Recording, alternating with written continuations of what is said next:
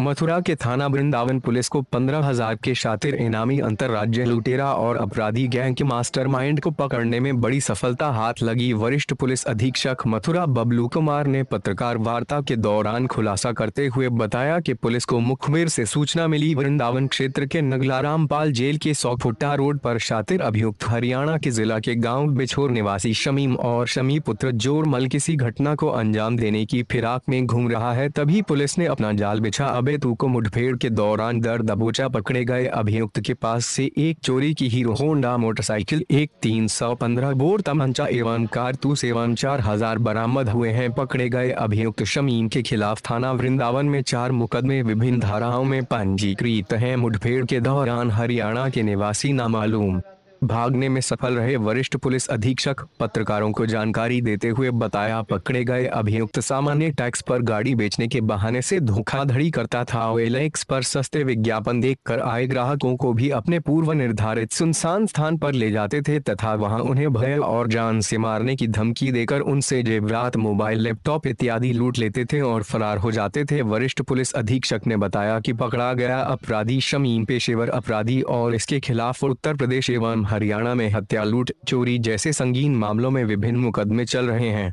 देखते रहिए S S E news की खबरें हेमंत कटारा के साथ।